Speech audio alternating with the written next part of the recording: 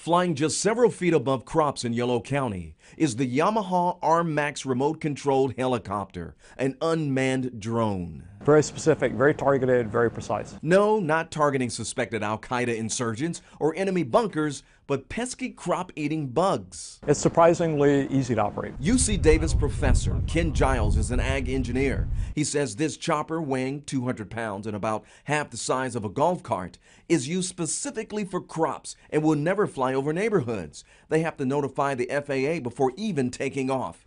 His team is looking for ways to help farmers spray and save. This is an example of a sprayer that the helicopter might replace. He says the traditional ground or aircraft crop sprayers use more chemicals than necessary. With the aircraft, uh, we can treat three or four acres in much less volume.